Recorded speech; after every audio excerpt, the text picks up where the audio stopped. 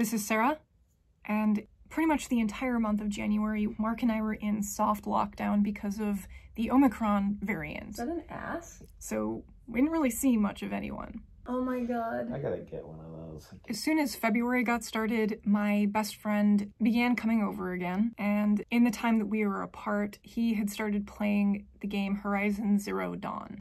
I am familiar with the gist of the game, like what it's about, what it looks like. He wanted to show me this game because he knew that it was right up my alley, especially now doing all of the gardening. It's got strong tribal, naturey survival undertones with robots. As soon as he loaded up the game, the very first thing that I saw was the armor that his character was wearing. And it was this, like a tassel bedecked ghillie suit and they were attached to some sort of fish netting. And it very much reminded me of the ivy and the vines that grew on the wall of the courtyard outside of our window when we were living in Europe last summer. I think I've mentioned this, but I really, really enjoyed seeing these vines. I'm from the desert, so being able to appreciate that much lush greenery was a treat for me. So I saw this ghillie suit and I was like, wow, you know, vines, leaves. It reminded me of like, you know, living foliage, which I guess a ghillie suit is supposed to look like that. I immediately envisioned myself wearing something like this while doing my gardening so that I looked more like an appropriate plant mommy for my tomato children. Not that they can see me, but I don't know, in my in my heart they can. I fancied myself making one of these things, one of these tassel ghillie suit chest pieces. Mark and my friend both mentioned, you know, you should probably look into fish netting, since that very much appeared to be the base upon which all of the tassels were grafted. So I fell down this deep, deep fish netting hole. One of the first things that you learn when looking at fish netting is that you create fish nets using a netting needle a netting needle is a very interesting tool. It basically allows you to spool an entire bolt of rope in a small compact space that can be fed through the loops of your fish net with ease.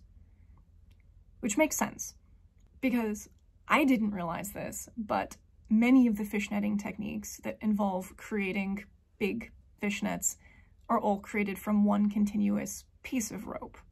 I created a bunch of different sizes of netting needle and experimented with making different diameters of net, trying to shrink it down as small as possible, or as small as the holes of the netting looked in the armor from Horizon Zero Dawn. I spent eh, a week or so sitting in the greenhouse with chocolate sprinkles, just practicing netting. I'm making a net with chocolate sprinkles. So, like knitting, which I'm not very good at. Like, I can't even say that I remember how to knit, but I've tried it before. The feeling of knitting or crocheting has its own kind of umami to it. Netting, like net making, feels like you're stabbing something into existence. Because the, the netting needle kind of just looks like a dagger, like a crude, like, prison shiv or something. And you just feed it through with the stabbing motion and eventually you have this net. So very quickly after I grokked the process and I, I honed in on my chosen strategy for creating fishnets, I produced quite a few garments really quickly. I would call them chest pieces. I invested in two different sizes of natural colored cotton rope. I got three millimeter and two millimeter rope, just to see which was more preferable to work with. I used my mannequin here in my lab and I was able to make a couple of wearables just like right out of the chute within the first week that I was dabbling with this new skill. Because I invested in natural colored rope, I also had to pick up some RIT dye to dye it the color that I wanted it to be. And again, I was shooting for a natural green, like a plant. Don't judge me. it's my job. Oh, god. I'm like making bad spaghetti in the night. I even really like how the knots are slightly lighter in color. Uh, the thicker udon is still processing because that's quite a bit lighter than the rest. Not quite sure why, but I don't know. I manually dyed my first couple chest pieces and I got interesting results, but they weren't quite what I was going for, so I invested in some pre-dyed rope, which is actually macrame cord. And I didn't know what macrame was either. Apparently really big in the 70s.